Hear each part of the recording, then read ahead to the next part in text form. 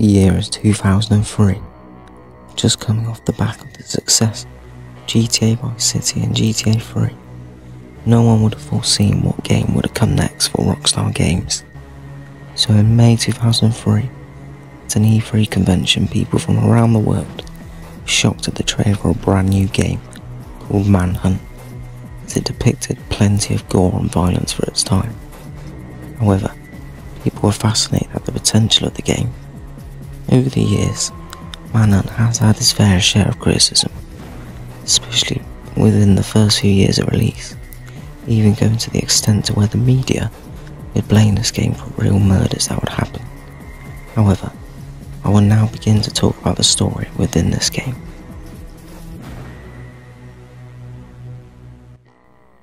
The game starts off with a cutscene of a journalist who talks about exposing a film director who goes by the name of Lionel Starkweather.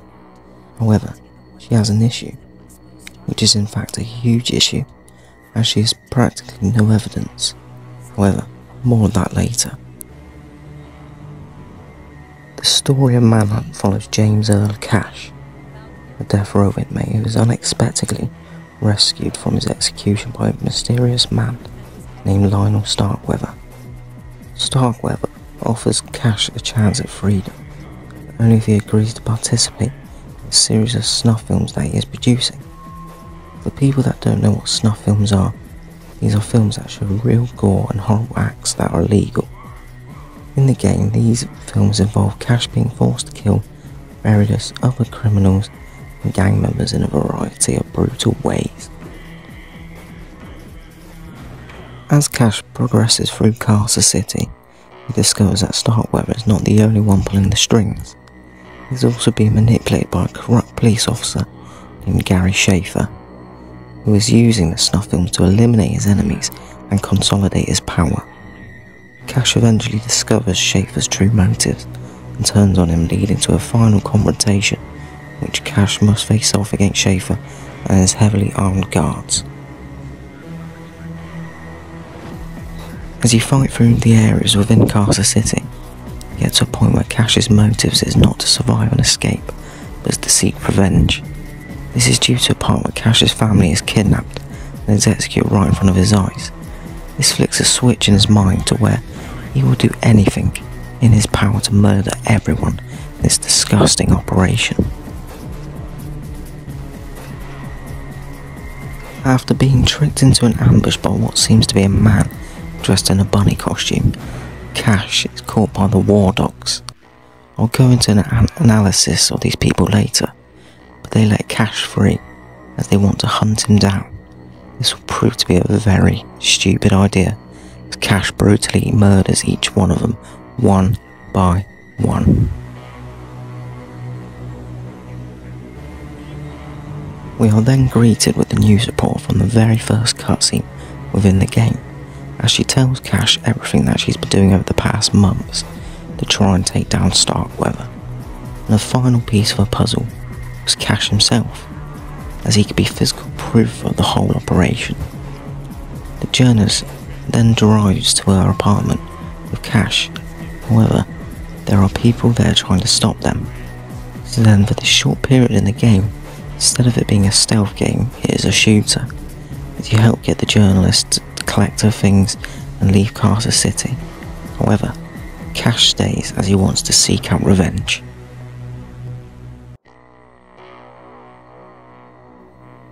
Towards the back end of this sick adventure, Cash is brought towards the mansion that Starkweather resides in by the Cerberus.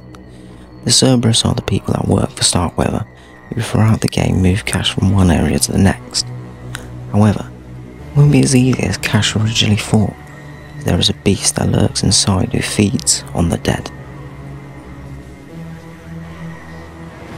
Piggsy, also known to some as Pigface, is a deranged hulking killer who wears a pig mask and carries a chainsaw. Is one of the boss characters who appears in the latter levels of the game and is considered one of the most memorable and terrifying enemies in all of gaming. Piggsy a former member of the War Dogs gang who was driven insane by the violence and brutality of his work. he now resides in an abandoned meatpacking plant where he hunts down and kills anyone who enters. He is known for his loud snorting and grunting, and his tendency to hide in the shadows and surprise the player with sudden attacks. Fighting Piggsy requires the player to use stealth and strategy to avoid his attacks, to use the environment to their advantage to gain the upper hand. The battle with Piggsy is considered one of the most challenging and intense moments in the game, and is a highlight for many players. Another reason to why Piggsy is such a memorable character is due to his look. He's a massive abomination of a man who chases you naked with the skinned face of a pig upon his own face. Eventually, Piggsy will subsequently fall to his own demise as he falls through the floor of the building. However, initially holds on, but Cash use, uses Piggsy's own tools against him and chainsaws Piggsy's arms which then leads to the death of the evil, sadistic cannibal. In the last fight in the game, Starkweather sends the last of his Cerberus guards to try and take Cash out. However, Cash easily breezes past these guards and is eventually left one on one with the man who put Cash through all of this. The man who murdered his family for his own sick entertainment, Starkweather. Cash runs up on Starkweather and chainsaws his stomach and destroys Starkweather in a hot fury, subsequently ending the sick nightmare for Cash. Finally, the final scene within the game is of the journalist who does a live broadcast on the Carcer City News as she exposes that this snuff film ring. Despite this, Cash, the main antagonist, was never seen again now that I've gone through the main part of the story, I just want to talk quickly on some of the gangs you have to battle within the game. There are three main gangs featured in the game Manhunt, each with their own distinct style and characteristics. Number 1, the Hoods. This gang is the first group the player encounters in the game. They are a street gang that wear hoodies and bandanas to conceal their identities. They are known for their ruthless behaviour and use of melee weapons like baseball bats and knives. Number 2, the Smileys. This gang is a group of psychopaths who wear masks that resemble smiley faces. They are known for their use of firearms and explosives and their sadistic personalities. They often taunt the player with disturbing messages over the game's intercom system. Number 3, the War Dogs.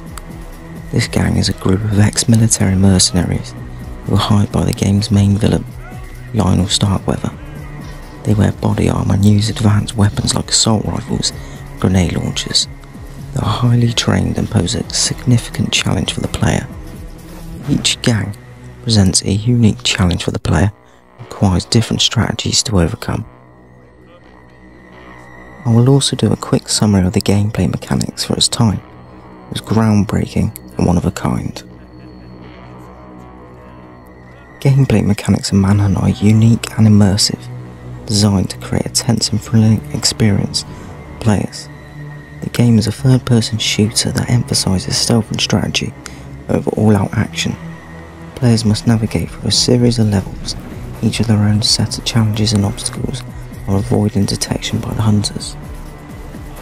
One of the most notable gameplay mechanics in Manhunt is its use of executions. These are brutal finishing moves that Cash can perform on his enemies once he has successfully sneaked up behind them. The executions are divided into three categories, ranging from quick and silent to slow and gory.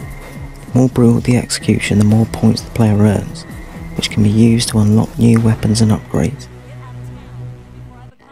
In addition to executions, Cash can also use a variety of weapons to take out his enemies. These range from simple melee weapons like baseball bats and even plastic bags, to firearms like pistols and shotguns. However, ammunition is very scarce in the game. Players must be careful to conserve their resources and use them wisely. And another key gameplay mechanic in Manhunt is the use of sounds and shadows. Cash must move quietly and avoid detection by the hunters, who are constantly on the lookout for him. The game uses a sound meter to indicate how much sound Cash is making. Players must use the shadows to stay hidden and avoid being seen. Overall, the gameplay mechanics of Manhunt are designed to create a tense and immersive experience that emphasises strategy and stealth. The game's unique use of executions and sound and shadow mechanics make it a unique and memorable experience for players looking for a dark and gritty adventure. Finally, during the release of this game, it had a lot of controversies.